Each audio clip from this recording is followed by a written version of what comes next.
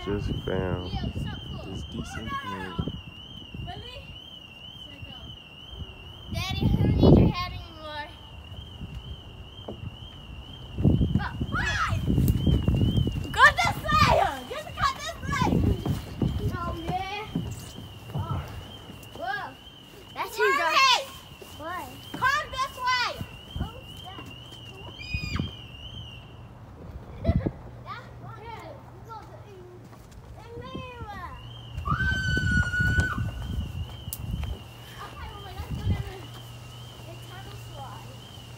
Thank you.